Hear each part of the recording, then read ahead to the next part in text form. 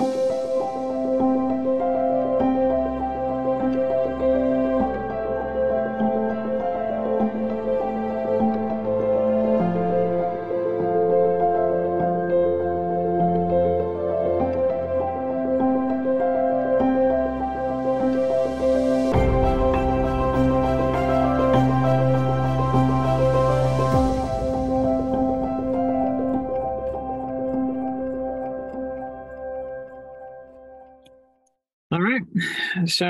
Um, we're going to be looking at uh, gain and loss upside down tonight, and uh, next week we'll look we'll look at gain and loss right side up.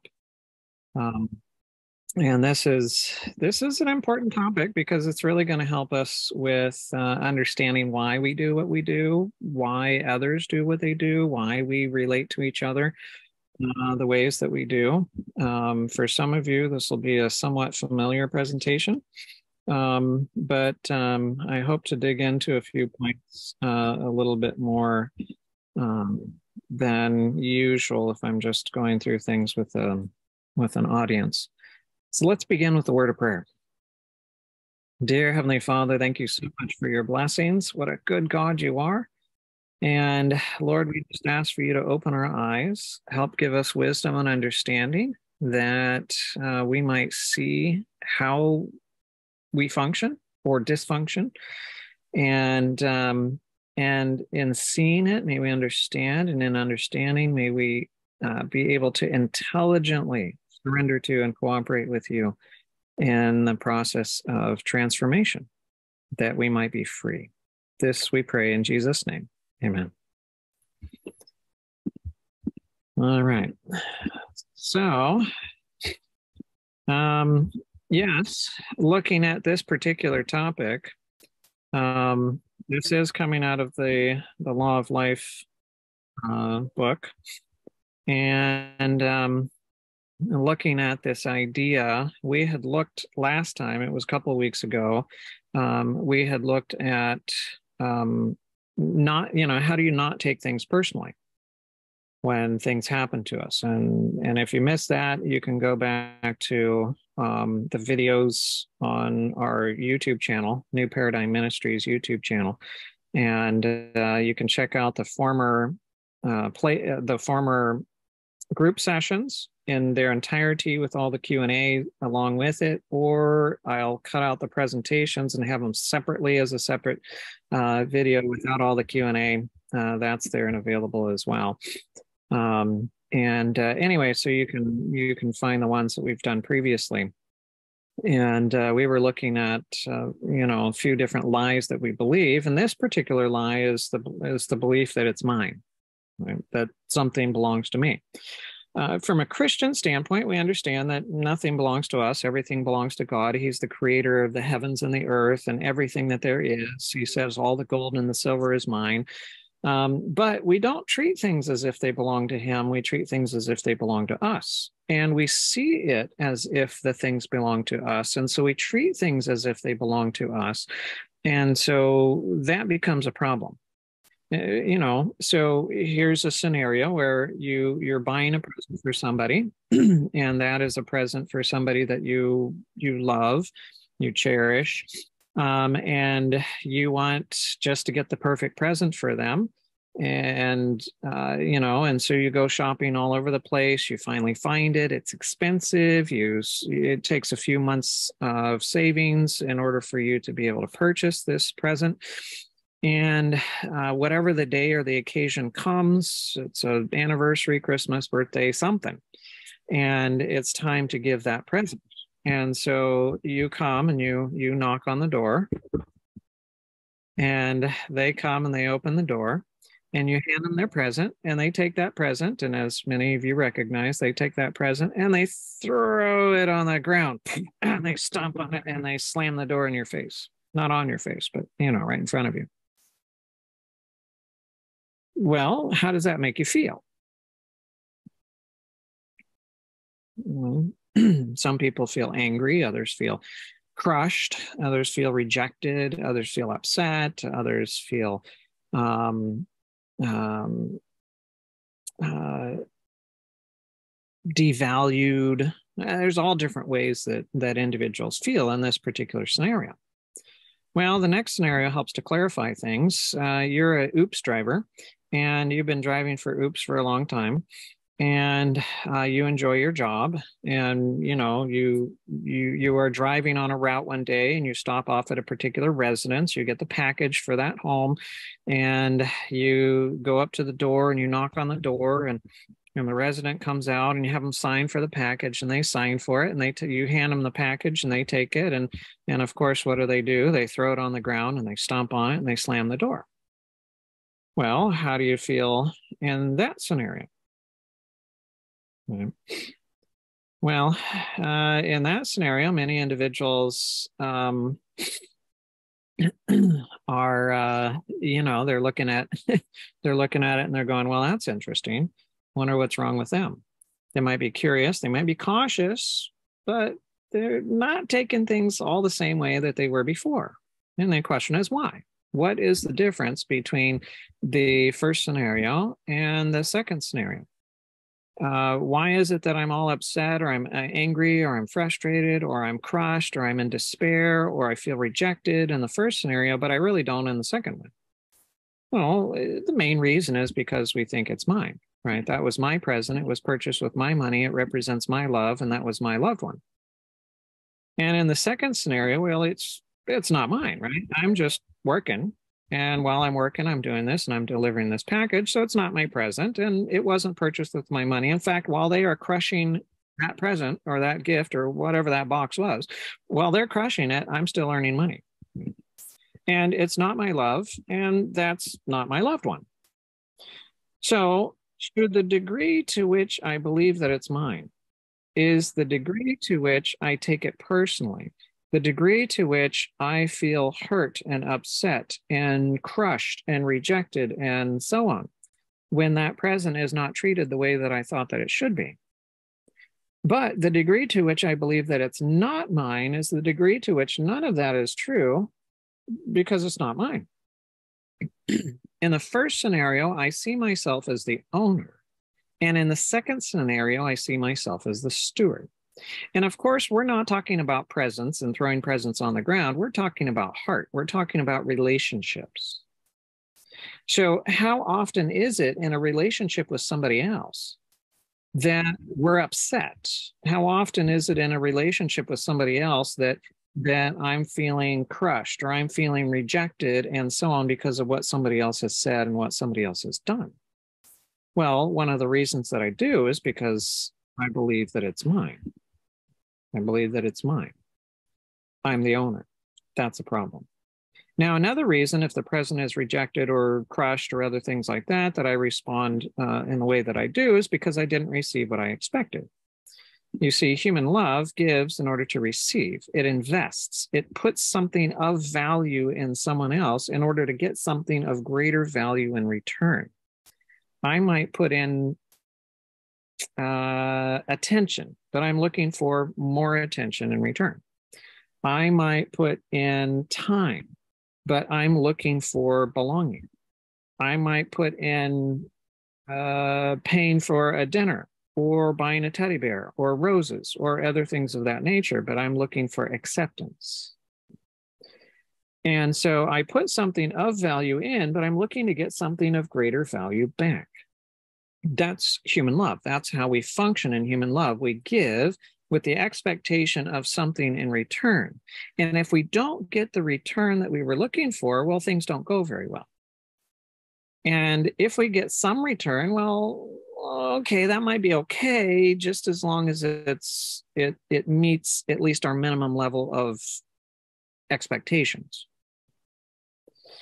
But if it doesn't meet that minimum level of expectations, if it's below the level of our expectations, now we got problems. We got significant problems. Now, we recognize in our human interactions that nothing's free. Nothing's free because everything has strings attached. Everything has strings attached. Everything and everyone has strings attached with it. So no gift comes without a good punishment if it's not um, received well. you know, there's something that goes along with it.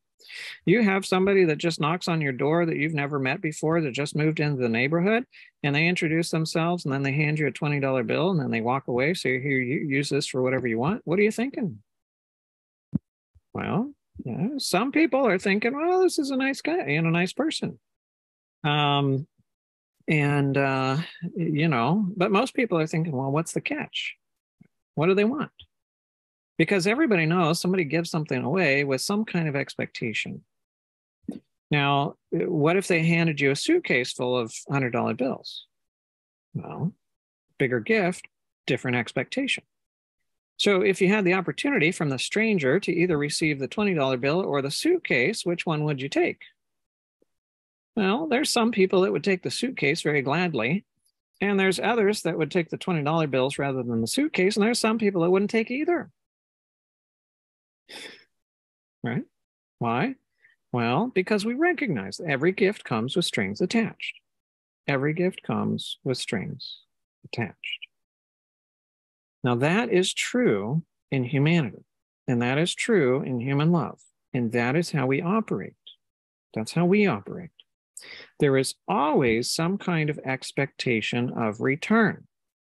And how much you need in return is dependent upon your expectations. Higher expectations need to have higher returns. Lower expectations can have lower returns. But everybody is looking for a return on whatever gift or whatever attention, whatever, whatever that they're giving away. But we don't necessarily think of it from that standpoint, right? We think of it that as being generous, right? So I pay attention to somebody and I'm doing so because I'm being generous, or I am going to give a teddy bear to somebody because I'm being generous, or I, uh, you know, we think of it from the standpoint of being generous, but, but where do you find out whether you're, you were actually really being generous or not? You find out when there's no return. You take the teddy bear and you give them the teddy bear, and the teddy bear ends up in the trash can well, that's when you find out whether your gift was truly for them or whether it was actually for you. If you gave the gift for them and the teddy bear ends up in the trash can, you don't take it personal. You don't get upset for yourself. You don't hurt for yourself because they did that. Now, you might be concerned for them, right? And, uh, you know, and wonder what's going on in their life and why is it that the teddy bear that you gave them would end up in the trash can, and you know, seek to understand thought processes and stuff. So your concern would be for them, but not for yourself. You don't take it as a personal offense. You gave it to them; it's theirs. They can do whatever they want to with it. All right. So, how many of you? And you don't have to raise your hands. You don't have to signify in chat or whatever. This is just a you know question. How many of you have ever given a gift to somebody else. And then when they didn't use the gift as you thought that it should be used, you tried to control them to use the gift the way that you thought it should be used, or you used the gift to try to control them in some way. Yeah. Yeah. Uh, in our home, um, I let, let me not name name individuals. Anyway, so so um, we have a family member. We have an extended family that lives in our home. Uh, it's not just myself and my wife and my children. Um, but anyway, so so some of um, other residents of the home might buy presents for the children, like bicycles or or other things of that nature. And then sometime later might threaten to take the bicycle away from them if they're not treating it the way that the individual or individuals think that it should be treated or you know or whatever. And and uh, all right so hang on didn't you give it to them? Yeah if you gave it to them then isn't it theirs? Well yeah. So if it's theirs then why are you talking about taking it away from them? Right because you gave it to or did you not give it to them? Was it a gift or was it not a gift is it just a tool for manipulation? Well, if it was a tool for manipulation, thank you for the tool for of manipulation. You can have it back, you know. But was it a gift? If it was a gift, okay, well then they can they can treat it however they want to treat it. It's their own responsibility between them and God how they treat it because it actually belongs to God, not you. and not them. See, we we got things so mixed up, so twisted around in our heads. We got so many things backwards.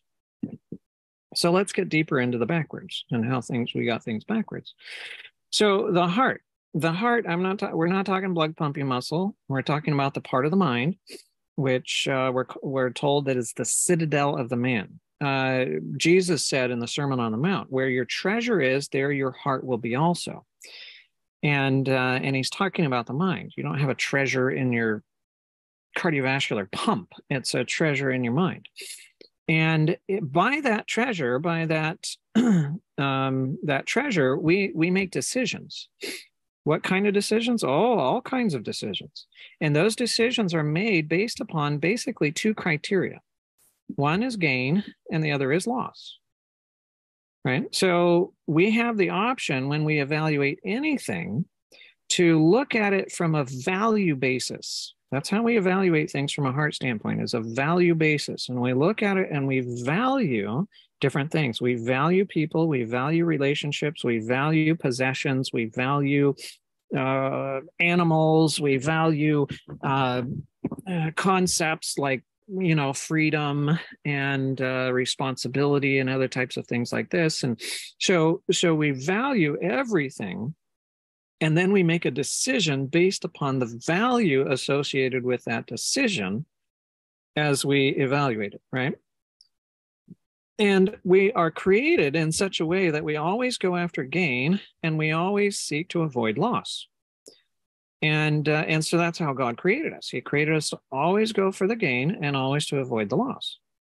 And uh, of course if you've got two doors if you're stuck in a room and the and the only way out of the room is either the brown door or the black door that's it and there's no drinking fountain no food no bathroom no nothing in the that room that you're in and the only way that you can go out is if you go out the brown door you'll get paid a thousand dollars. But if you go out the black door, you're going to pay a thousand dollars to go out. Which door are you going out? Well, of course, we're going to go out the brown door. Why? Because we always choose a gain over a loss. If we are confronted with a gain and a loss at the same time, then we're always going for the gain. We're always avoiding the loss. Now, if you go out the brown door, you'll get paid a thousand dollars. If you go out the black door, you'll get paid ten dollars. Which door are you going out? Well, of course, we're going out the brown door because if you're confronted with two gains, you're always going to choose the greater gain over smaller gain. That's just just how we function, right? Now, if you're confronted between two losses, in order to get out of this room, you're either going to pay $1,000 to go out the black door or $10 to go out the brown door. Which one are you going out? Well, of course, you're going out the brown door because we're always going to choose a smaller loss over a greater loss. And again, Jesus said, For where your treasure is, there your heart will be also.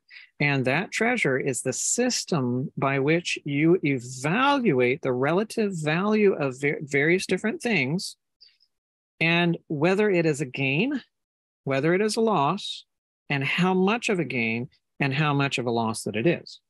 And when you take all of that combination of values together, then that's going to determine the decision of what you're going to do.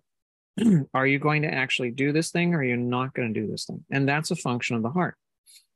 Uh, for example, if you're going on vacation or you have the opportunity or the option to go on vacation, well, there's a lot of things you might consider. Do I lose this vacation vacation time if I don't take it now? Well, if I do, then that might lean me in the direction of taking it versus leaving it behind. Or do I get money if I don't take the vacation time? Like, does that turn actually into wages if I don't take the vacation time? Well, I might want the money. That might be a greater value to me than the time. Uh, how much pressure is there at work? Do I really want to get away from it? Um, what kind of project is happening at the time? How many people are working upon that project? What kind of timeline is associated with it? Can I afford to take the the you know is there going to be a big raise for those that complete this project and if i go on vacation now i'm not going to get that raise mm-hmm. because i won't be a you know a, a, part of that project and whatever. So you know all of these are things that we evaluate and we put value to each of those different things. And finally we pull it all together in a single value and we go okay is it gain or is it loss? Is it gain to go and loss to stay or is it gain to stay and loss to go? And however that valuation comes out that's how we make our decision So we we make our decisions based upon value from a heart standpoint. And because our heart works that way, and again, I'm talking about the mind, I point here, but we're talking about the mind. Because the heart works that way, then when it comes to temptation, that means that the enemy cannot tempt us to lose because loss is no temptation. So again, if I offer to you poison and it's going to kill you slowly, it'll be very painful while you die. And it will take a long time, and there's no antidote for it. And uh, it also tastes really horrible, and it's just going to be absolutely miserable. Want some? Well, you might be saying, well, let me think about that for a little while. I mean, do you really have to think about it? Do you have to pray? No, I mean, the answer is no. Obviously, no because loss is no temptation. So, of course, if the enemy was coming along and he was uh, tempting Eve, well, it wouldn't have been smart to come like this and and you know to look pretty hideous and ugly and and to present before her and say, you know what, here, eat this fruit. Uh, you'll die. You'll lose everything that you love uh, you'll begin to decay, decay. Other things will as well. You'll learn about death and dying and disease and, and, and all this misery and, and murder and all sorts of horrible, hellish stuff. It'll be yours if you eat it. Here, want some? Well, no, of course not. That would be foolish. And he's smarter than that. So, what he has to do is to trick us into believing that loss is gain and gain is loss. Can you see how powerful this would be? if if everything that we do is filtered by gain and loss, if everything that we do is evaluated by a value system, at least as far as the heart is concerned, is evaluated by a value system so that everything that we choose to do is associated with gain and everything that we avoid is associated with loss. What would happen if our whole evaluation system got turned upside down, what would happen? Hmm. Well, then we would pursue loss thinking that it was gain, and we would avoid gain thinking that it's loss. That is the problem. That's the problem. That's our problem. You see, in the Garden of Eden, God said, if you eat of the tree of knowledge of good and evil, you're going to lose, you're going to die. And of course, the opposite, which wasn't spoken but is implied in that statement, is that if you don't eat it, you're going to gain, right? You'll get to live and and you know grow and, and mature and and whatever, have a have a good life that God had, had desired for you. and then in Genesis chapter 3, and beginning in verse 1, says, Now the serpent was more cunning than any beast of the field which the Lord God made. And it wasn't the serpent, it was Satan in the serpent, right? And he said to the woman, Has God indeed said, You shall not eat of every tree of the garden? Hmm. Well, and the woman said to the serpent, All right, well, yeah, we can eat. But uh, the fruit of the tree which is in the midst of the garden, God has said, You shall not eat it, nor shall you touch it, lest you die. Okay. Then, then the serpent said to the woman, Okay, well, I understand that, but I came to this tree months ago and I ate its fruit. And the moment that I ate its fruit, I got the ability to think and to reason and to perceive and to, to speak. And and I have powers now that I didn't even know were possible beforehand. It, you know, my mind has opened up to things that I couldn't even possibly imagine beforehand. And God knows that you are so much greater than me at your creation so that when you eat of this fruit, you will be like God, knowing good and evil. You'll be like God. You will not surely die. That was the first lie. You won't die, right? You can you can disconnect from God and you can be your own God and not die. You can keep yourself alive.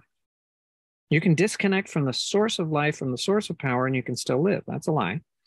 For God knows in the day that you eat of it, your eyes will be open and you will be like God, knowing good and evil. So God said, You eat it, you lose. The enemy said, Ah, you eat it, you gain. God said, You don't eat it, you gain. And the enemy said, Ah, no, you don't eat it, you lose. So God set up a system of evaluation and he created Adam and Eve with that evaluation system created into them. Intrinsically, it was a part of their nature to evaluate things according to the right standard, which is the standard that God gave them, so that they saw gain as gain and loss as loss. And there was no reason ever for Adam and Eve ever to choose loss and there was no reason for them not to choose gain. God created them for gain forever.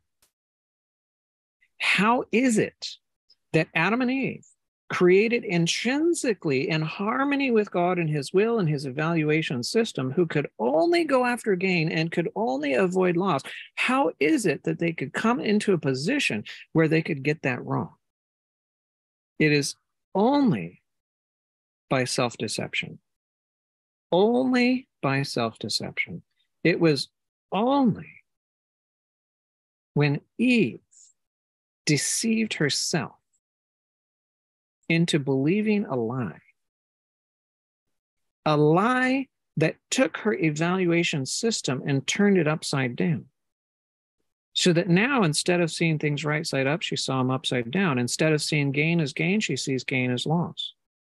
And instead of seeing losses gain, uh, she, I mean, seeing losses loss, she sees losses gain. And so she automatically goes after the loss, thinking that it's gain because that's how she's created. She's created to go after the gain, but it's the deception that causes her to go after it, thinking she's going after, going after the loss, thinking she's going after gain.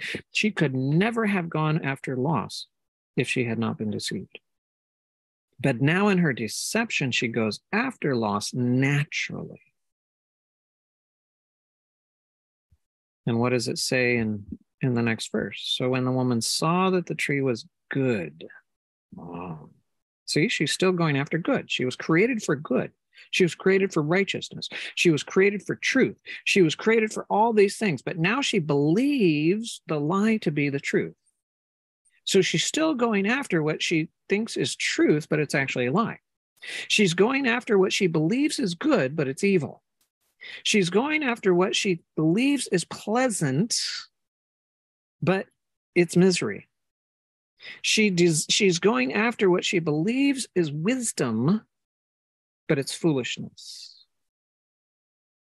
And she can't help but take of its fruit and eat it because she thinks that it's gain and she always has to do what is gain. So everything is backwards, everything is upside down, everything is chaotic. And here is Eve upside down, but she still thinks she's right side up. She's upside down, but she thinks she's still right side up. That's the deceptive nature of sin. And with her arms laden with that fruit, she goes to Adam and she tells him the same stuff that the enemy told her. So she becomes an agent of Satan to bring the lies to Adam. And Adam's like, uh uh. Like she was tricked into thinking that this was actually a snake that actually ate from the tree, that actually was doing good and actually knew what it was talking about. Adam knew.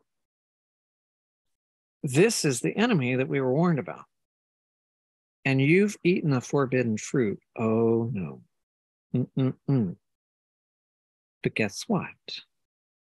Adam too deceived himself, deceived himself into thinking that Eve was a greater gift and a greater value than God and the angels and the garden and everything else that God had created to him. And uh, and that he could not live without Eve. And he thought, well, She's alive. She's not dead. She's eaten the fruit. She says she loves me more than she did before. Maybe it's true. Maybe it's true. And he deceives himself and he eats the fruit too. Now, the father and the mother of our race are upside down. And guess what? Every one of us are born upside down with this upside down evaluation system where we believe that we're like God. So you throw within this now evaluation system human love, which is upside down and backwards, which gives in order to receive, which is an investment, right? We put something of value in to get something of greater value back. And if that is my gain, I mean, if that's my love and that's what I do, and my evaluation system is upside down, then my gain is to receive. That's why I gave. I give in order to receive. And the more I can receive, the more gain that I have. I mean, come on. You, somebody gives you a Christmas present and the Christmas present has $2 in it. Well, that's great. $20 in it, that's better. $200, that's even better. 2000 that's even better. $2 million, woohoo, hallelujah. Jumping around, $2 billion. Whoa, don't even know what to do with that. Right. So the more you receive, the greater gain that you have. But at least if you receive enough, if this is coming from Aunt Matilda, and you know Aunt Matilda dishes out $5 to everybody in the family tree. And so what are you expecting? You're expecting $5. So when the card opens and there's $5, well, that's what you expected. That's fine. That's enough. I mean, it's not huge, but eh, eh, thank you. But if, if you, what happened if Aunt Matilda's always dishing out $5,000 every Christmas to every family member and everybody else gets $5,000 and you get $5 this year? Well, what about that? Well, you feel like you're at loss. Why? Because you just received less than what you expected. right? Now you're at loss. But are you at loss? Well, no, you didn't have the $5 before you got it. And now you got it. Now you have $5 more than you had before. That's a gain, but you consider it a loss because it's less than what you expected. So it's your expectations that divide the line between whether it's a gain or whether it's a loss. And of course, what's worse than receiving less than what you expected? Well, receiving nothing at all. And even worse than that is having your treasure taken away. So here's the heart, here's human love. This is how we operate, and it's upside down, it's backwards. It's already messed up all the way from conception through the development process into birth and the growth and development. This is how we are born. This is our nature. This is how we operate ever since the fall. Not how God created us, but how we operate since the fall. And of course, you take this and you throw it into a relationship context, and you have, I mean, there are some really beautiful parts, very beautiful parts of of this backwardsness, right? That's what kind of keeps us in the deception for a while. I mean, you have a young man, young woman, they run into each other. There's this kind of thing that happens, and you know, there's an attraction, at least from one side. You're hoping from both sides. Um, and uh, you know, if he's interested in her, then what do you do? Well, if you've got this kind of love, then you're going to give. So you got to give something if you want to receive anything back. And so you got to give some attention to receive some attention. And you might give a uh, time, right? Uh, in order to receive belonging. You might uh, give some vulnerability, right? Opening up about your life and what you, you know, uh, things that they could potentially stomp on and take advantage of. But, you know, to in order to be a bit vulnerable, you got to open up that vulnerability and hoping that they are they'll open up as well and be vulnerable as well because if there's vulnerability from the other side then there's something that you can control. And uh right. Uh anyway so so and you know so walks get longer and talks get more deep and uh, get deeper and uh, um, you know teddy bears get bigger and flowers get more and it just progresses and it's just wonderful. And and your expectations just go up and up and up and up because the giving it gets higher and the expectations get higher and the giving higher and the expectations higher and giving higher and expectations higher and so on and so on until you're just high right? Uh, so high you can't see all of the red flags that everybody else sees and they're like well what they see in that person you know? That's yeah. Anyways, yeah, some of us have been there. Uh, so, so uh, yeah, and then you know, eventually somebody's like, well, you know what, I, I, I think that they're a permanent gain. Well, if you think they're a permanent gain, then you've got to, you've got to try to get them to be on your side permanently, right? And so that's a marriage commitment. So there has to be, you know, that that question, and uh, that important question of, uh, will you marry me? And uh, you know you're hoping that you're number one on their list because if you're number one on the list not the hit list but number one on the good list then then that means an automatic yes yes they're going to say yes because they're they're always going to go after the greater gain and if you're number two on the list well they they're going to hold off for number one and once it looks like number one is not coming around, then they'll go for number two because number two comes up on the number one list and and so on. And you're always going for number one. And uh, and so this is how we think. We think and we evaluate everything from a value basis. That's how we take everything from a value basis. And so he proposes, she says yes. The engagement goes on. They get married, right? Now what happens with the valuation system? Well, now you have secured the treasure, right? You don't have to get the treasure, you have secured the treasure. That's what marriage does. Marriage secures the treasure. Now she's mine. Now he's mine. We were trying to make each other ours during this whole dating process, but now we are. We are mine, right? So now what happens to that valuation system? All right, so uh, I don't have to spend as much time and attention in keeping what I already have, which is already mine and uh, and secured. So so the time and attention goes down, and the gifts get smaller, and the poems get fewer in between, and and eh, you know everything that happened in the dating relationship starts turning in reverse in after marriage, and and it just gets less and lower and less and lower and and if you had raised your expectations up to here because of their giving you know and now their giving starts decreasing and it gets below the level of your expectations well what do you do well, the only way you can mitigate your losses here is to lower your expectations. And then they give less, and then you lower your expectations, and then they give less, and then you lower your expectations and less and lower and less and lower and less and lower until eventually you get to a point where you say, well, you know what? Enough is enough. I'm not lowering my expectations anymore.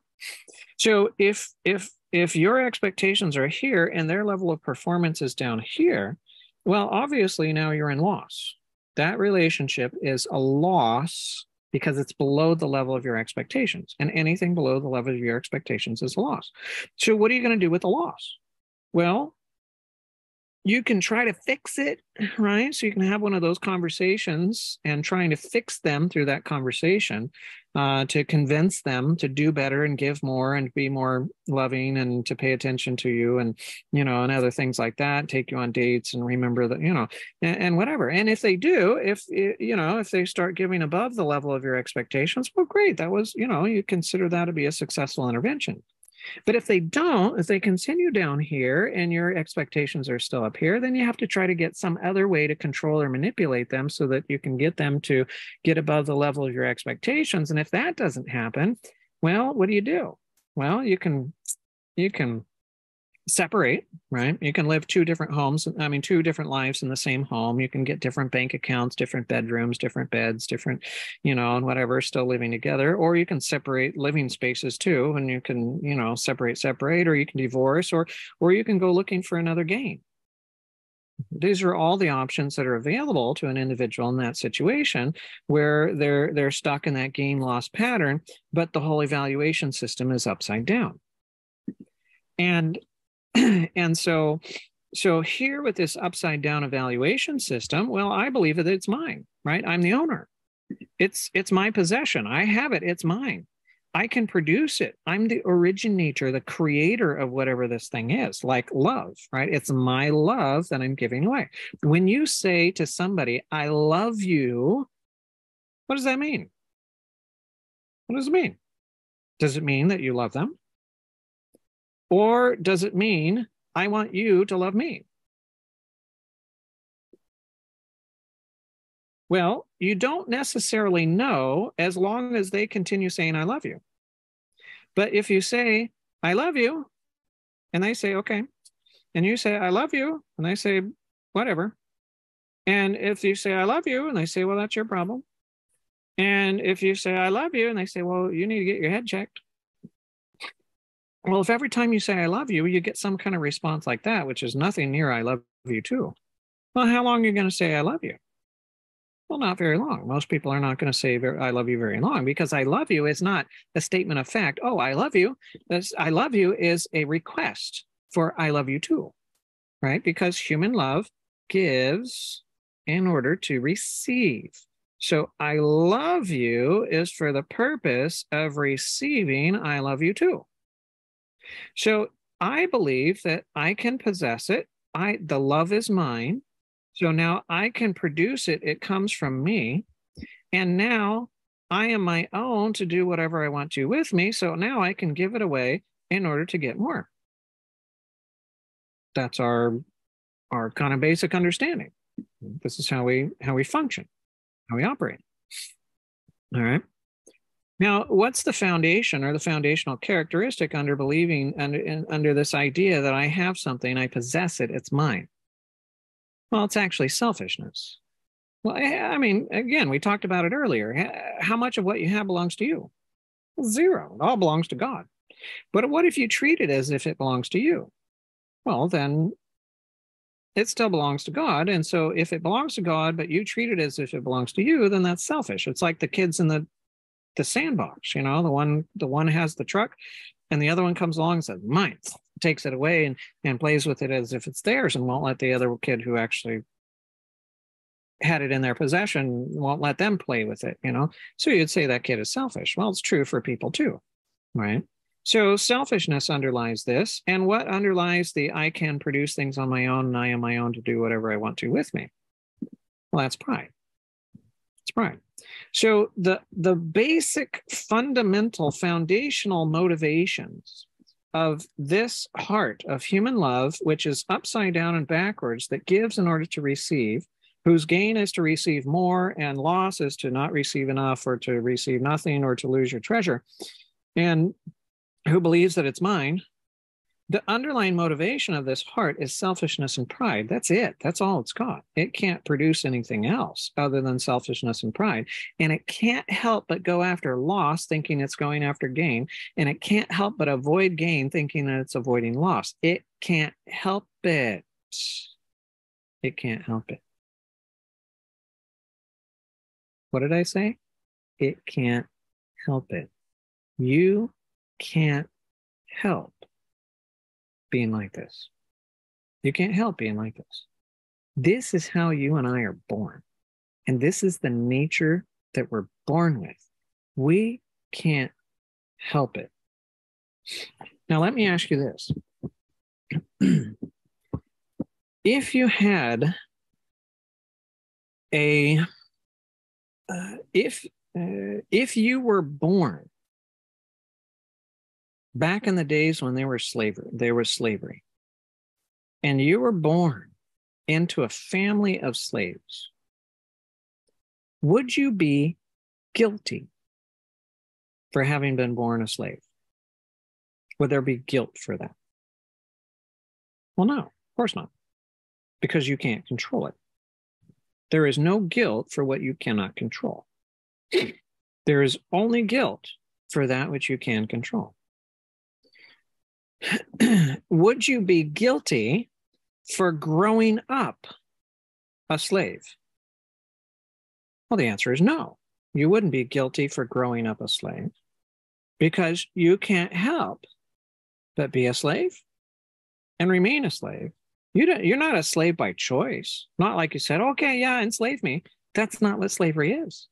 Right? Slavery is not a choice. That's the whole nature of slavery. It's the lack of choice to be free, just like being a prisoner. right? So, and I mean, we might say, okay, well, uh, with prisoners, they had a choice, and then that got them into prison. Now they don't have any choice. And slavery, it was without a choice to get into it or to stay in it. Right? Okay, so we'll just take the slavery analogy. So there's no guilt for having been born a slave. There's no guilt for growing up a slave, and there's no guilt for continuing to be a slave. Until, until what? Until you are offered freedom. And you understand the offer of uh, the offer of the freedom. And you can take the offer of the freedom. But you leave it alone and you, you, you choose to remain in, in slavery. That's when guilt comes or you choose to go free. And then you choose to go back into slavery. Right? Yeah, there's guilt for that. Um, so, is there guilt for you being upside down? Well, no, you were born that way. You were born into a family of upside down slaves to sinful fallen human nature who who who operate this way. Is there any guilt for having been this way? No, there's not. Is it dangerous? Yes. Will it kill you? Yes. Is it will it harm others? Yes. Is it evil? Yes. Is it selfish and is it proud? Yes. Right. Does it have other ugly things along with it? Yes. But are you guilty for it? No. Not until you are offered the opportunity to go free. You understand that opportunity and how you might cooperate with. And you choose not to take it. You choose to remain a slave. That's when it becomes a problem, a guilt problem. But not until then. And many of us are still here, not because we know how to be free, but because we're stuck and we're still a slave to this nature. Okay, well, let's learn how we can be free. Let's learn how we can be free. Now, this heart is miserable, it's ugly, but we are all like an unclean thing, and all our righteousnesses are like a filthy rags, and we all fade as a leaf, and our iniquities, like the wind, have taken us away. Yes, that's what it's like. And what can it do? This heart can speak with the tongues of men and of angels. It can have the gift of prophecy. It can understand all mysteries and all knowledge. It can have all faith so that it could remove mountains. Mm. It could bestow all my goods to feed the poor and even give my body to be burned. It can do all that kind of stuff and still not have love, real love. And if not, it profits me nothing. This heart can can can say to God, Lord, Lord, have we not prophesied in your name, cast out demons in your name, done many wonders in your name? So there is a lot of apparently good things that this heart can do because remember, it gives. So that looks generous, but it does so in order to receive back again. And it can't help it. That's what it does. That's its very nature. But can God take that nature and take it to heaven and give you free reign of heaven with that selfish nature? Well, no, it would it would muck up and destroy all of heaven. So no, he can't take that to heaven, but that's how we're born. So there has to be a transformation process. There has to be something. This this life is a probationary time where God is giving us the opportunity by his grace and his plan of salvation in order to take us from what we have been, which we have no guilt for having been there, and to transform us into what he created us for in the beginning so that he can freely let us enter back into heaven and the fellowship there which is completely selfish and humble and not proud and not anything like what we're discussing today. But as long as long as we're still caught in that old thing then he will declare I, I never knew you Depart from me, you who practice lawlessness. Why? Because he can't let that into heaven. He can't. It would just destroy everything there. I mean, the carnal mind is enmity against God, for it is not subject to the law of God, neither indeed can be. So, so this mind, this heart that's upside down and backwards, it cannot even submit itself to the law of God. It can't. And so you take that and you put it in heaven, all it's going to do is chaos. It's going to disobey. It's going to go in the wrong direction, thinking it's going in the right direction. We're going to do the wrong things, thinking we're doing the right things. We're going to do the evil, thinking we're doing the good. We're going to be completely backwards and making chaos and havoc of everything. But yet, still thinking that we're okay. Revelation 3:17, you that you say I'm rich and have become wealthy and have need of nothing and do not know that you're wretched, miserable, poor, blind, and naked. It's true. We just don't see it. Don't see it very well. So here's this heart. And not only is it selfish, not only is it proud, but I believe that I'm God. Why? Well, because the only one in the universe that can give first is God. It's the only one that can give first. Right? Everyone else has to take first in order to have something to give. You can't give what you don't have. And it's only God that can just create it and then he can give it. And so if I have a love that gives first in order to receive, then I must believe that I'm God. and I must believe that it that I'm my own and that it comes from me and it's my possession. Oh, this is all God. I'm all God. I'm all backwards. And of course, the law tells us that you shall have no other gods before me. And uh, of course, the big God that we have before him is the other Trinity me, myself, and I. That's what I want, what I desire, what I need. That comes first. Everything and everyone else comes somewhere down the line, including God. And this heart is a slave to others. Right. So it it's it's it's interesting because when I separate from God, if God is my source, and that's how we're created, we're created with God as our source, Uh, Adam and Eve back at the beginning, right? Everything in perfection was created with God as a source, and come and take God from God everything that you need and then give it away to others. That's how everything was created in the beginning.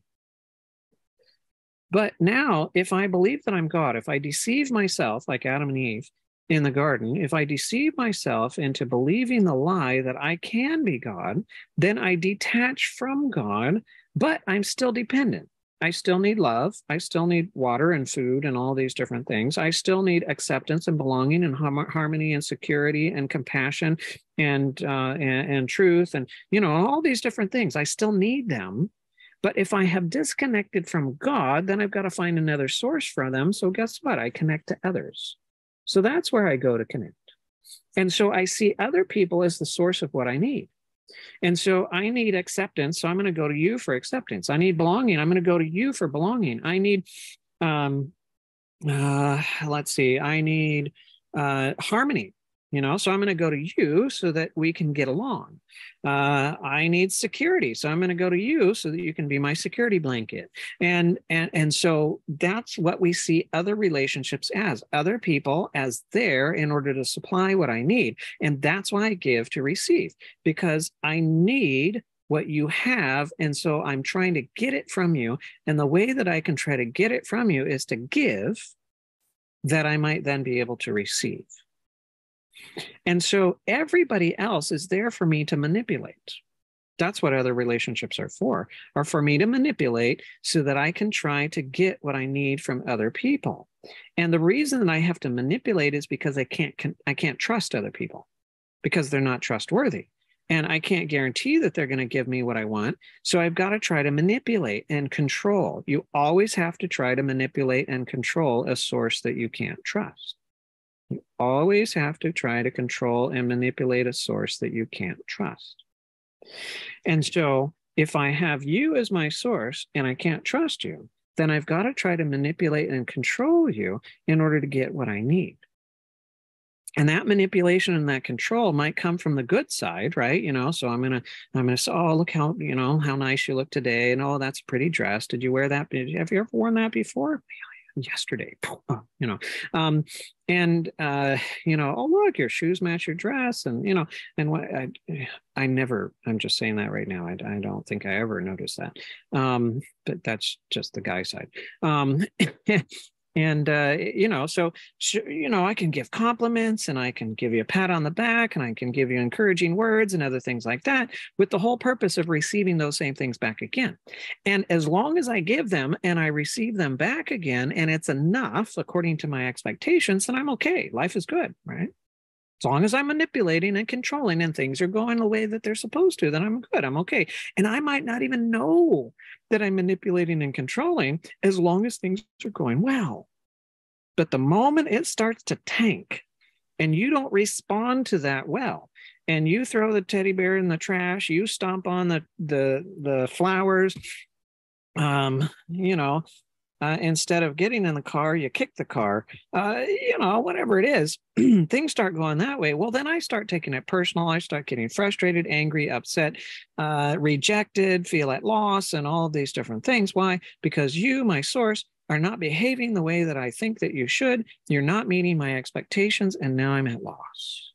And I can't help it. I can't help it. I can't control it.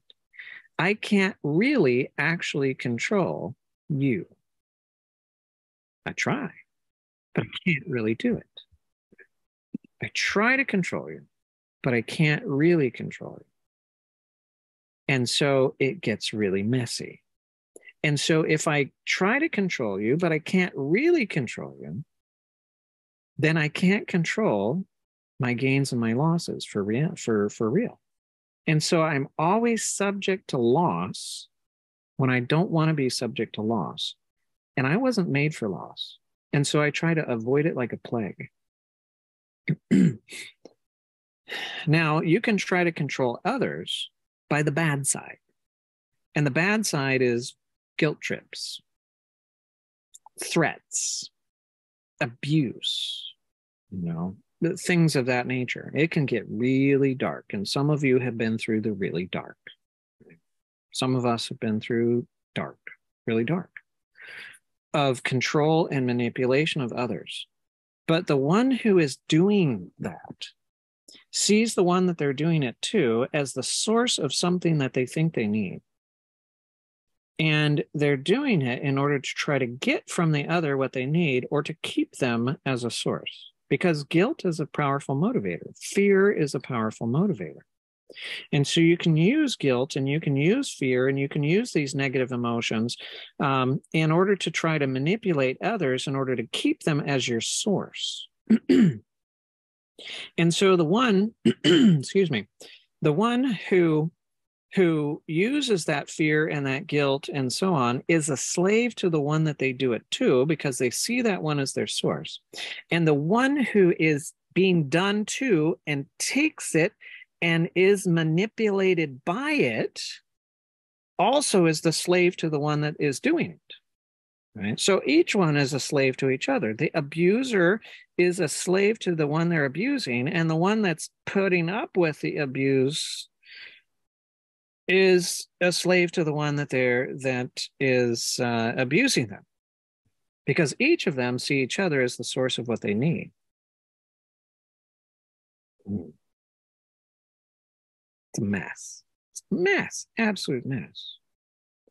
But it all goes along with gain and loss. All goes along with gain and loss.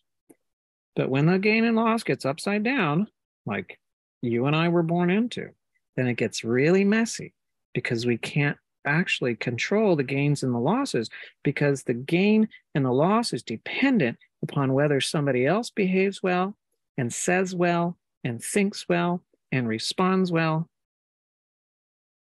and if they don't do it well, then I'm at loss.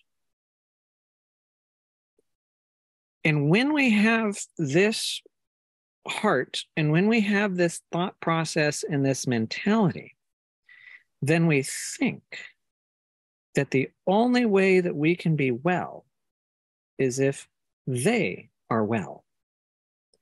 And so I can't tell you how many counseling appointments that I've had and sessions with others where I'm told how bad the other person is. And you know, so I'm I'm counseling with somebody and they're talking about the somebody else in their life and how bad that somebody else in their life is and how they say these things and don't do these things and they do do these things. And and this is why i have the problems that i do because this person over here is not being well and they're being evil and ugly and all that kind of stuff. And if only they could be well and evil and i mean if they could be well and good and nice and kind then i wouldn't have the problems that i have. No. No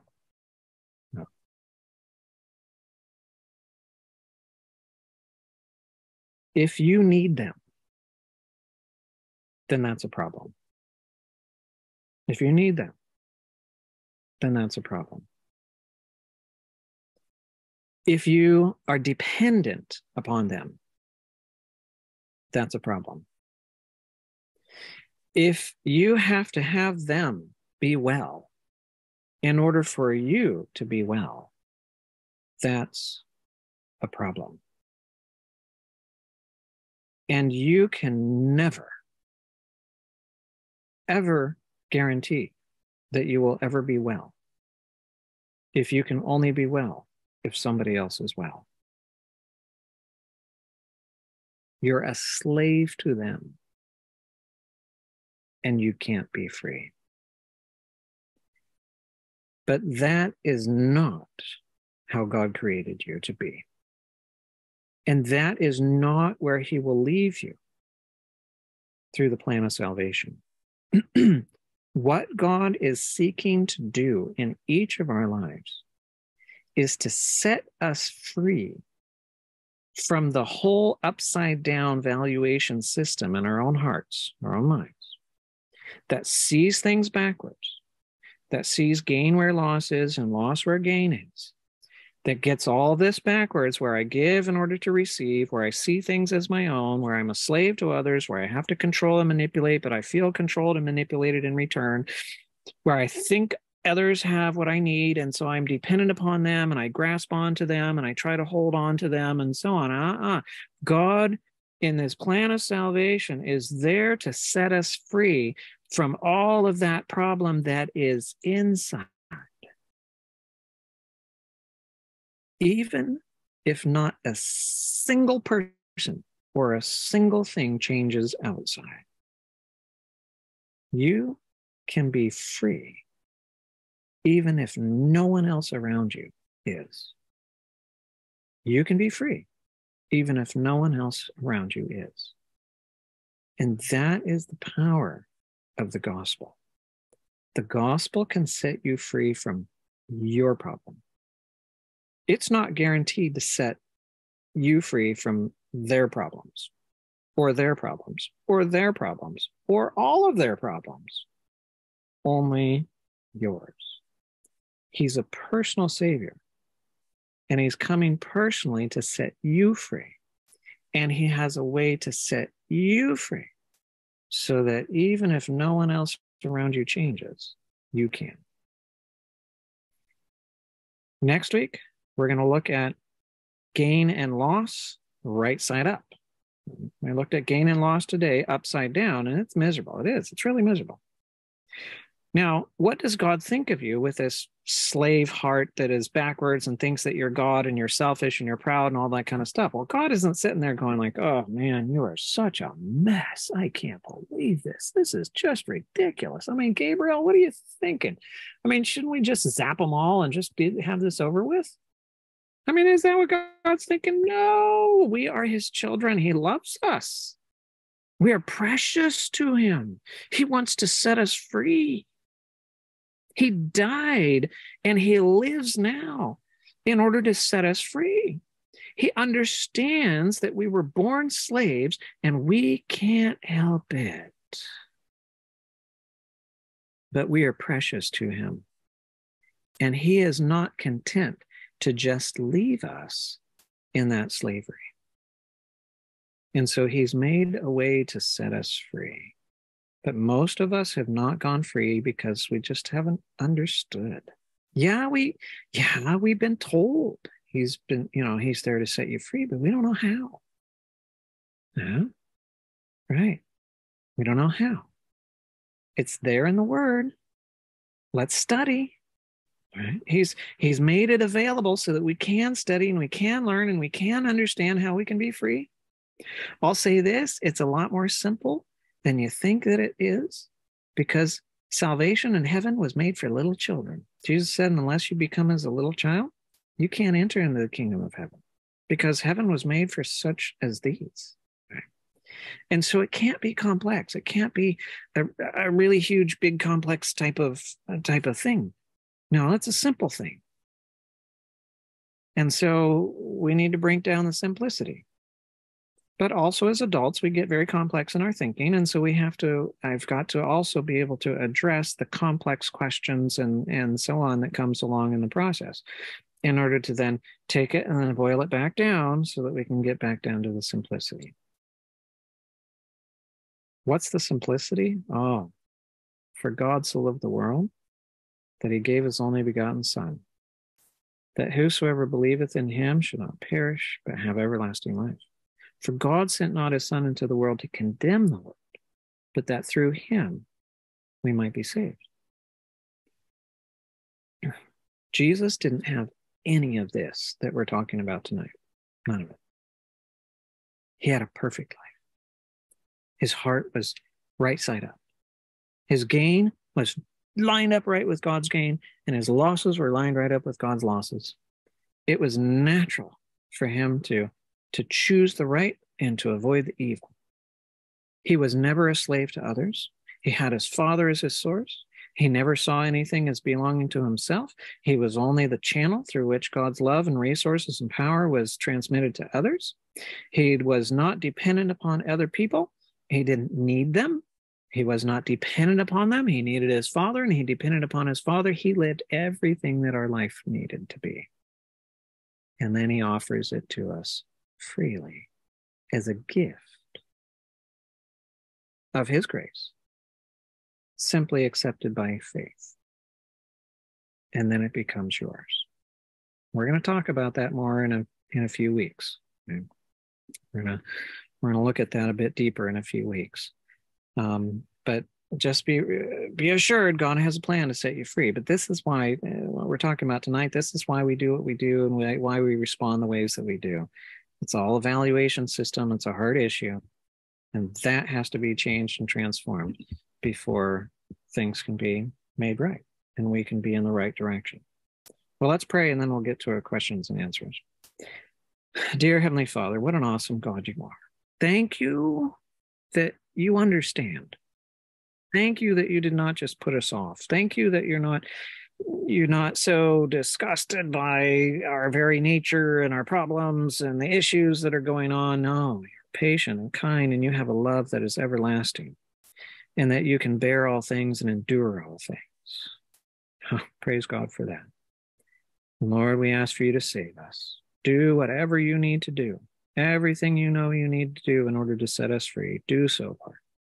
But now, what would you have us to do to cooperate with you in that process? Thank you, Lord, for showing it to us. And thank you for being faithful to carry to completion this work that you have begun in us already. We pray in Jesus' name. Amen. All right. so that was a lot to chew on. And um, so if anybody got questions, you can send them through. I got one here. And um, it says, I find myself disobeying my parents over a person. I'm not allowed to talk to this person, but I still want to.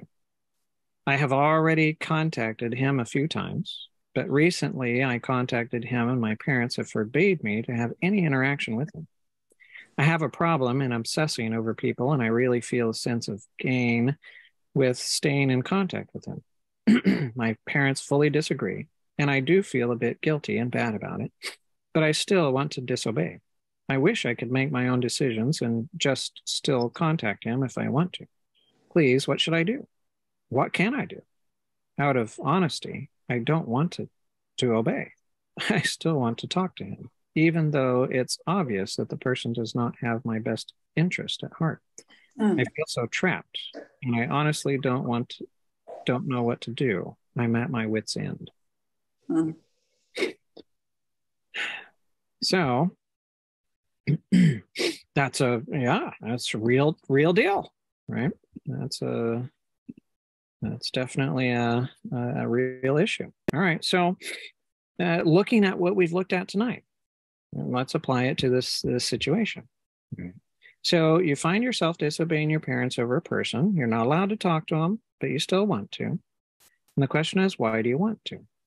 Do you want to talk to them for what you might give to them or do you want to talk to them for what you might receive from them? It's obvious from from this and from human nature that what you're wanting is you're wanting to be able to receive something from the individual. So you think that the individual has something that you need, whether that's attention or acceptance or belonging or um, approval or understanding or whatever it is. There's something there that the individual has that you think that you need and it's something that you're missing.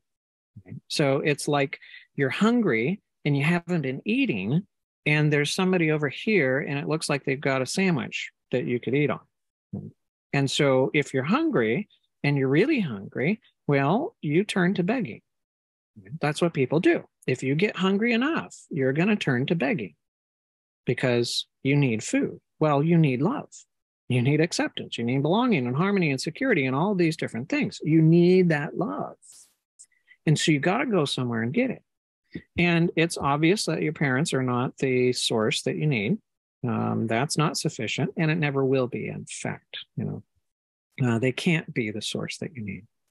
Um, they they might be able to be a better source for you than they have been if they were connected more to God and taking more freely from Him, and then they would have more of Him to give to you.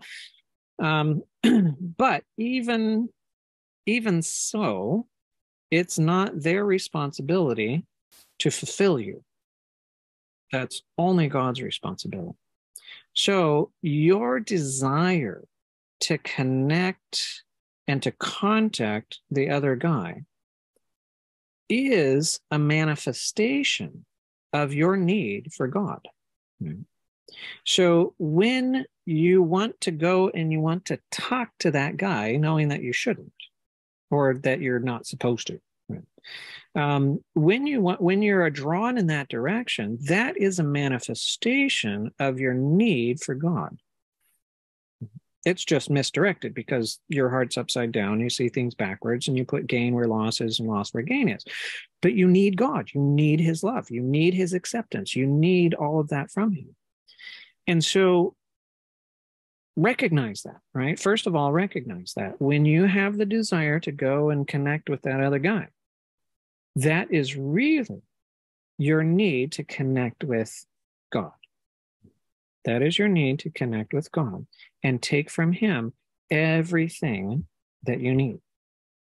That's really, that's really where it's at. And um, and and so recognize that, and then go. Okay, so if I'm longing to be with this individual or to communicate with this individual, uh, and uh, and I'm not allowed to. Well, maybe that is a, a good motivation for me to uh, to go and uh, and attach to uh, to God. Right, take that as the time and the opportunity to go and attach to God, and that would be a good a good response. That would be a good response. Um, I'm just trying to pull up a slide here so that I can give an illustration of uh, something that I was just talking to somebody else about. Here we go. all right, and let me just share the screen here. All right, so here uh, you can see that there is a plant, right? And this plant has a root stock, and there is a graft union. This is where the scion, which is the top part of the plant, has been grafted onto the root stock, which is the bottom part of the plant that has the roots. Now, if you were to take this, this scion and you were to cut it off from the root stock, would it continue to live? And the answer is no, it would die. You cut it off from the rootstock and it's going to begin dying. It'll start the dying process right away. Now, what if you got this scion and you cut it off and you got another plant and you cut off its scion and you got the two scions, the two tops of the plants, and you grafted them together? Are they going to support each other's life or are they both, both going to die together? Well, obviously, they're both going to die together. The only way that you can have life is if you're connected to the rootstock as a as a scion. Hmm. That's the only way that you can have life.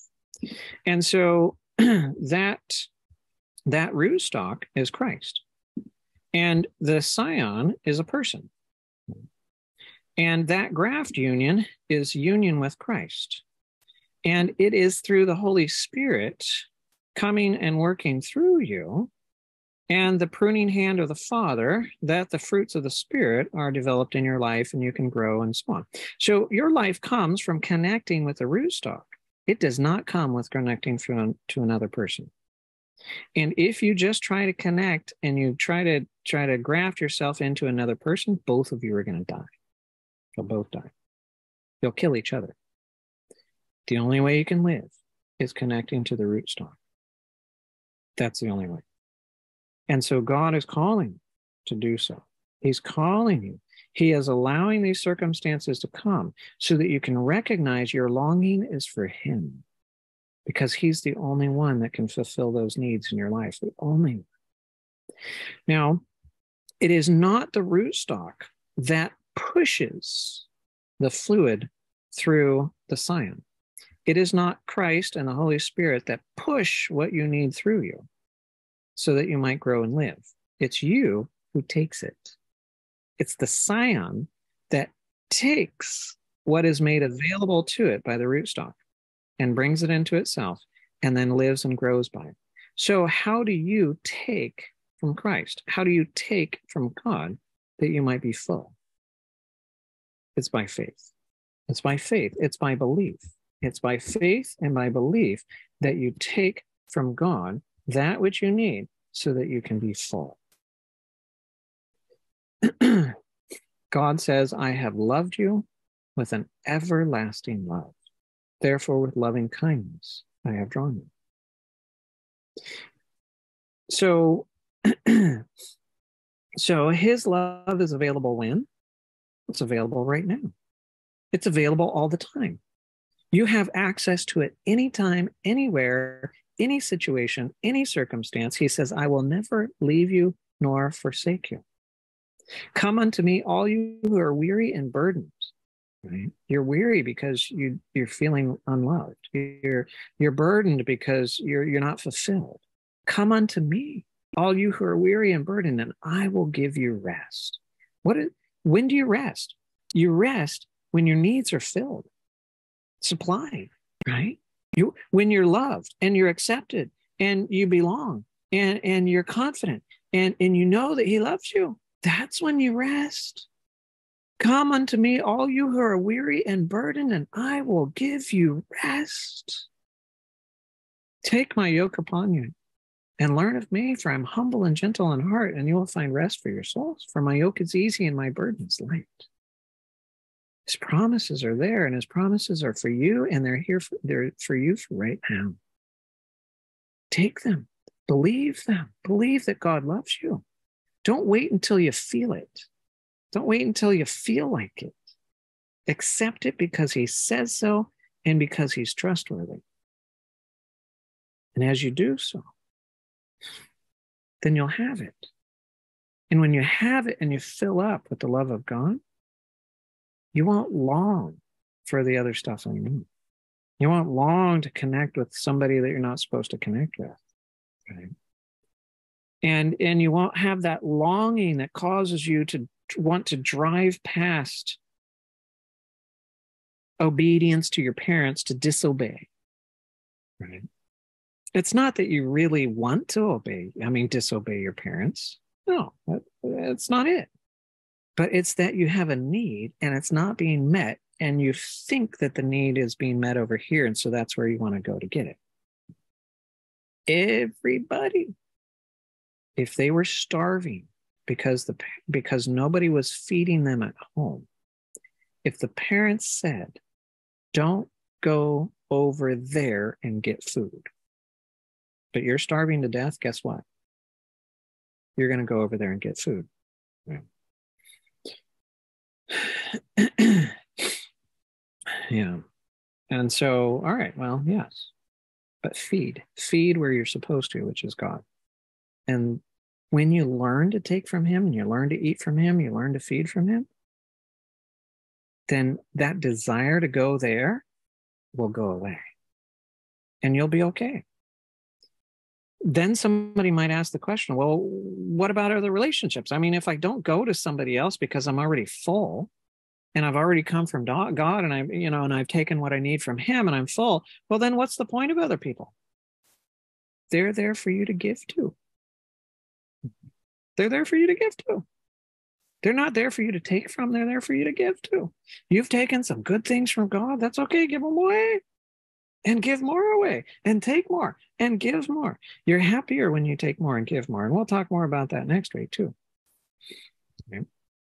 Okay. So here's a comment a sad situation in the world today is when parents need their children to affirm them. It's upside down. Well, yes. I mean, that's that's been ever since the fall.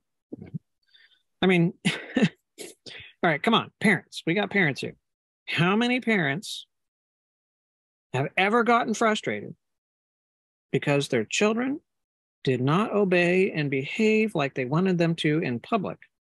And they had the thought or the feeling that that was going to bring some disrepute on the family and the family name. Both my hands up. Right. Yeah. right. Right. Why? Because we see the behavior of the children reflecting back on ourselves, and we don't like the reflection. And we think that it damages our own reputation and whatever respect we might have with others and so on. And so we get on the children because the children's behavior is affecting our reputation. The frustration is not necessarily with the children, it's with our own issues. And yeah, sure, we we as parents we we need our children for affirmation, we need them for love, we we use them and manipulate them. Everybody does. I mean that's how we're that's how we're grown. I mean that's how we're born. That's how we grow up. That's the nature that we have. This is the heart that we operate by. But this is what god is looking to save us from. Not to keep us here but to save us from it. All right other questions? I have a question. Okay. All right go ahead. So it's clear that the answer is Christ, that we need God. But in this act of how we can't help how we are, there are some relationships that seem to work, even though they may not have God as the focal point of their relationship. So, what do you attribute to that? uh, yes, you know, like um, the dating relationship, right? Um, the dating relationship is an excellent, excellent example of that, where you have two individuals that are selfish, two individuals that are giving in order to receive, but both of them are giving and both of them are receiving from each other. And so things are going fairly well from that standpoint. So a very dangerous situation in selfish human nature is a situation where you have a balance of selfishness. Right? That's a dangerous situation where you have a balance of selfishness, where you have one individual that is giving to the other with expectations of return, and you have the other that's giving to the other individual with expectations of return and both of them are giving and both of them are receiving and so both of them are relatively satisfied. And um, eh, you know and so in that situation there's not a lot of contention. There's not a lot of rubbing heads. There's not a lot of you know the the chaos and so on that's going on. And the reason that that is so dangerous is because in that situation, an individual rarely recognizes their need. They rarely recognize their need because to live in that kind of relationship where there's very, very little chaos and things seem to be working quite well over a period of years, decades, and so on in a relationship of that kind of nature. But if it's still from the foundation of selfishness and pride, and having myself in the place of God. That selfishness and that pride and having myself in the place of God cannot translate into heaven. It can't. And so, even an individual in that situation needs to be saved from the selfishness and the sin so that the motivation of their relationship is a motivation of unselfish love without expectations for myself, with only expectations for the others. and so, in God's grace, He allows circumstances and situations to come where that gets disrupted, where there becomes an imbalance, and where an individual there starts to be conflict and other types of things of that nature that happens. Now, I'm not saying it's always, you know, huge and, and whatever, but the times come, right? And the conflicts and the and the disagreements come and, and so on. And well, praise God that they do, because those are our opportunities to see what's in the heart. I don't know what's in my heart when everything is going well. I don't. Because selfishness and selflessness can look really similar, really similar. And speak with the tongue of men and angels and have not love right? We can have all knowledge and all know all mysteries and have all you know understand prophecy and and so on. We can have faith so we can move mountains but still not have love. We could uh, give everything that way that we, that we have away and we could surrender our body to be burned in the flames. We go down in a martyr's death and still not have love because selfishness and selflessness can look really similar when things are going well but it's when things start to break down and not go well and not go the way that I want them to, that what's inside is really comes spilling out. So that I can then see what's inside. So, who are the ones that recognize that they have a need? It's the ones that are in chaos. It's the ones that are fighting. It's the ones that are bickering. It's the ones that are back and forth and all that kind of stuff. They see more clearly that they have a need and sometimes they're the ones that are more that are more easily reached jesus said i came not for the well but the sick said i came not for the righteous but the unrighteous if i didn't come for you if you don't need me it's only if you recognize that you have a problem that you then need me. And that's who i'm here for. But if you don't think you've got a problem and you don't need me i can't help you. And uh, so so yes there can there can be that situation but it's a dangerous one. It's a dangerous one. How do i connect with christ? That's an excellent question um, as i mentioned it's by faith it's by belief now every method is a method Right. Connection is is not a method. Connection is a is simply belief or faith in God's word and taking him at his word. But what are some things that might be able to help you in that process, in that pathway?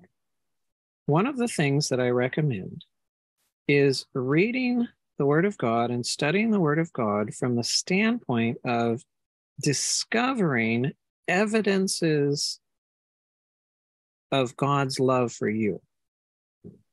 Read the Bible with the eye to look for evidences of God's love for you. And so, you know, in John 3:16 says, For God so loved the world. Okay, well, write that down. For God loved me so much that he gave his only begotten son, that if I believe in him, I don't have to perish, but I can have everlasting life. Put it in your own words, make it personal. Um, the next verse, in verse 17 God didn't send his son into the world to condemn me, but that through him I might be saved. That's another evidence of his love. Um, what other evidences of his love are there? Come unto me, all you who are weary and burdened, and I will give you rest. Fear not, and be not dismayed, for I am your God. I will strengthen you. Yes, I will help you. I will uphold you with my righteous right hand. Um, Bless the Lord, O my soul, and all that is within me. Bless his holy name. Bless the Lord, O my soul, and forget not all his benefits, who forgives all your iniquities, who heals all your diseases, who redeems your life from destruction, who crowns you with loving kindness and tender mercies, who satisfies your mouth with good things so that you your youth is renewed like the eagles. The Lord is merciful and gracious, slow to anger and abounding in mercy. He he does not treat us as our sins deserve, nor repay us according to our iniquities. For as the heavens are high above the earth, so great is his mercy towards those who fear him. As far as the east is from the west, so far has he removed our transgressions from us. As a father pities his children, so the Lord pities those who fear him. That's in Psalm 103. So you go through the Bible and you find evidences of his love and you write them down. Write them down, keep a journal write them down in there the different evidences of his love evidences of his love evidences of his love and go back frequently to those evidences. Meditate on them. Think about what it means for you. And is it true for me now? God are you is is this true for me now? Right? Another thing that helps me is recognizing that what is written is not just a historical account of something that happened in the past. The Bible is not just a historical record of what has happened in the past, it is the voice of God spoken to me personally now. Because when God wrote those things, he anticipated me and you. And he anticipated our trials and our difficulties and our problems.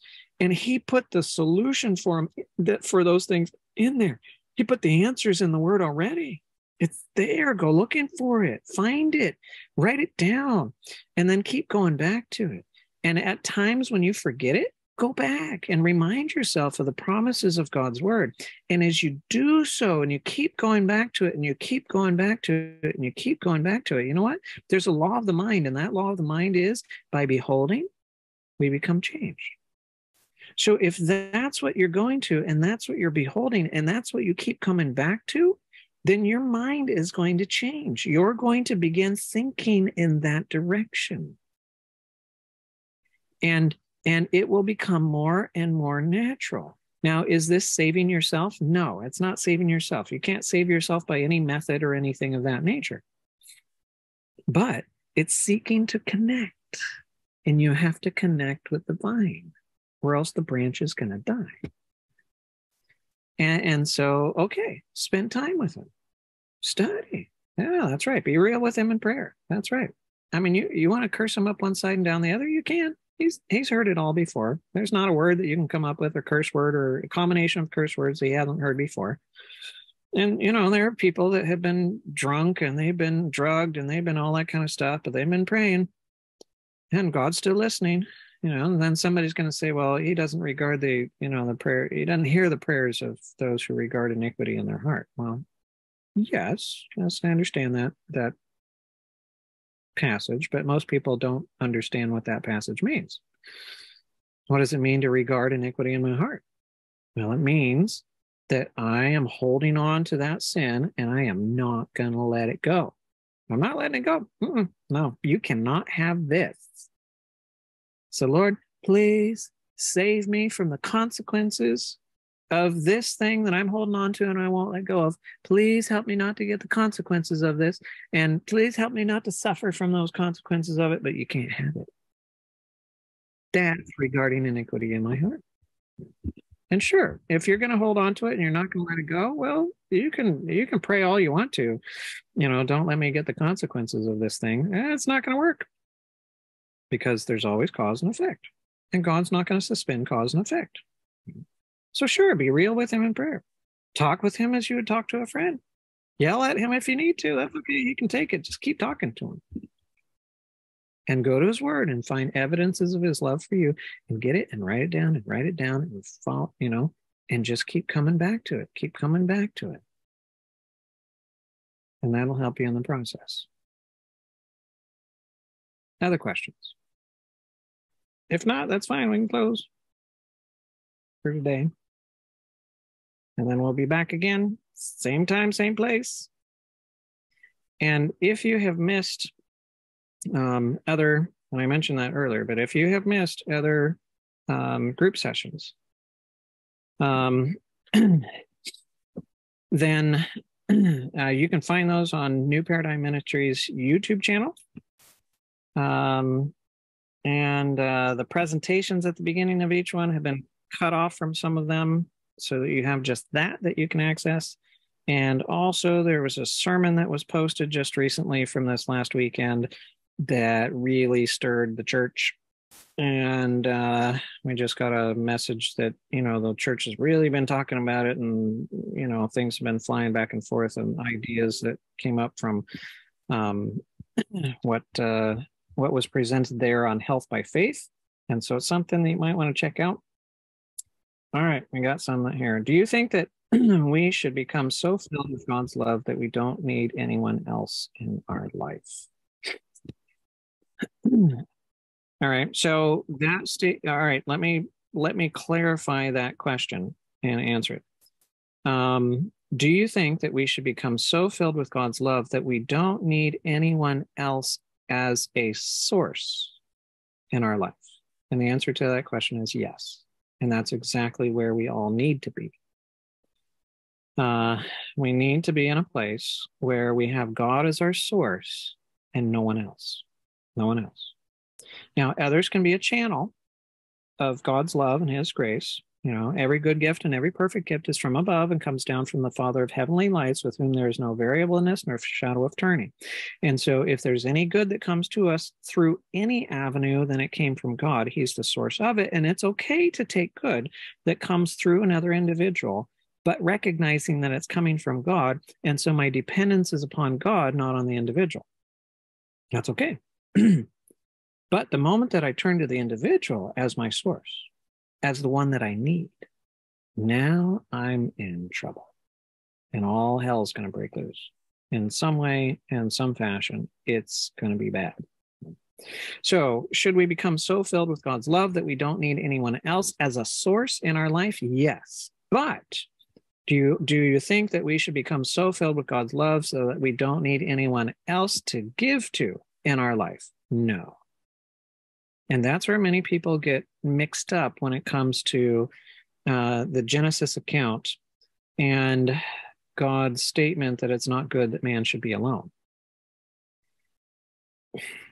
It was not, um, it was not, and what should I say? God had Adam alone before he created Eve. I mean, everything else, he created them together. He created all the animals together. He created all the plants together. He created all the other things together. But when it came to humans, he created Adam without creating Eve. Why? to show Adam that God was his source and that God had everything that he needed and he could be completely content and fulfilled by taking from God and God alone. But what was missing? Well, you can talk to your dog and you can talk to your cat and you can talk to your pets and but you can't you can't relate to your cat and your dog and your pets in a way that is really meaningful so that you can communicate to them things that are deep in the way that you can think. You have to have something else of your same nature that can think that deeply and have the same capacities in order for you to be able to share those things with so that they can get it and understand it. And there can be that com- community. And Adam didn't have that. It wasn't that he was deficient and he didn't have what he needed because there wasn't an Eve.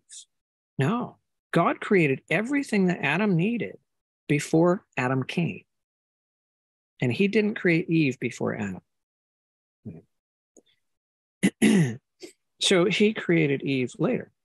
Now, why did he put Adam to sleep? I mean, he could have kept Adam alive. I mean, he could have kept him awake. I mean, how how hard would it be for God to reach in at Adam's side, take out a rib without any pain, without any surgery or anything like that, just pull out a rib and then form Eve and do all that kind of stuff, and then Adam could watch God creating another human being. Wouldn't that be cool? But no, he put him to sleep. Why?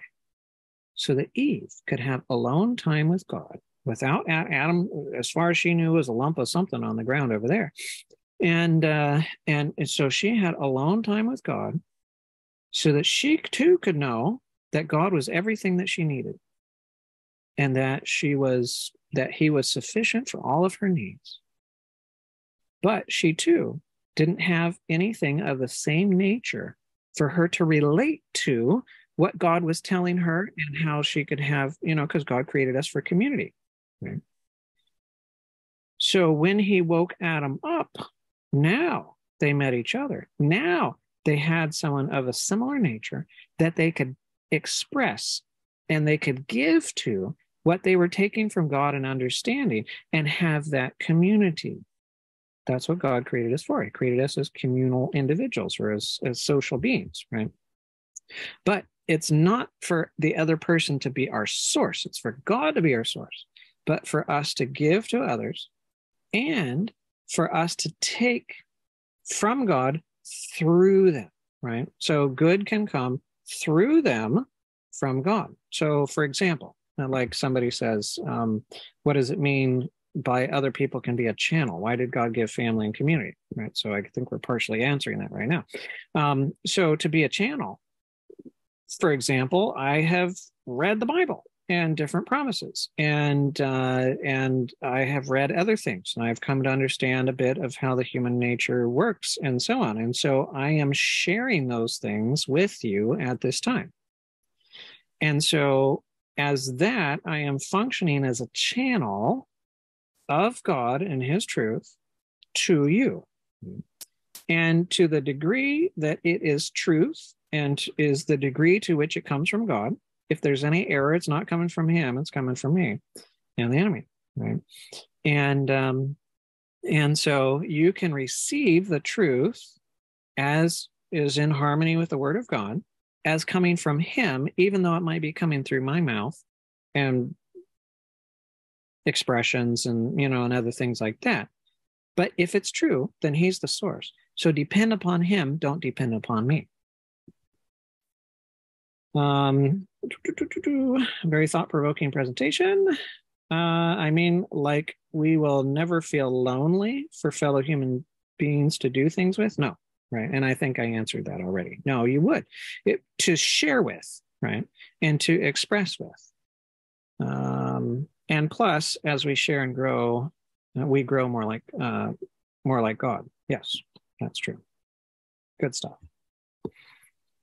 All right. Yeah, yeah. Well, um, tomorrow we should have this up on uh, the the YouTube channel as well, uh, so that you can go over this again, uh, as you mentioned, and uh, so that should be available for you there. And if there's anything else, if there's particular topics that uh, you would like to be covered, uh, we'll get to some. Some have mentioned a few topics that we need to get later because we got to build more of a foundation before we get to some of the specific topics. But if there are specific ones that uh, you would like covered, then just uh, email us. Um, and uh, you, that's info at npmin.org. I just stuck that down in the chat. Um, so go ahead and email us uh, those questions. Camelin. You got um, your hmm? So I was just listening to Desire of Ages a few days ago, um, and it has a quote in He ordained the twelve.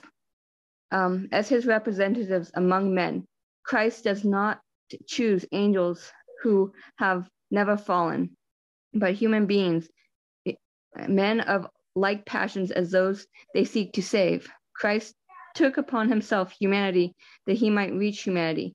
Divinity needed humanity, for it required both the divine and the human to bring salvation to the world. Divinity needed, oh, wait, um, yeah, mm-hmm. humanity, that humanity might afford a channel of communication between God and man. So, with the servants and messengers of Christ, man needs a power outside of and beyond himself to restore him to the likeness of God and enable him to do the work of God but it, this does not make the human agency unessential. Humanity lays hold upon divine power. Christ dwells in the heart by faith, and through cooperation with the divine, the power of man becomes efficient for good. So, just that talking about being a channel. Yeah. Um, and that humanity is needed in that we need contact with each other to see a picture of God. Yes, I mean God uses uh, God uses that channel. He has ordained that channel. Um, did oh did Jesus did Jesus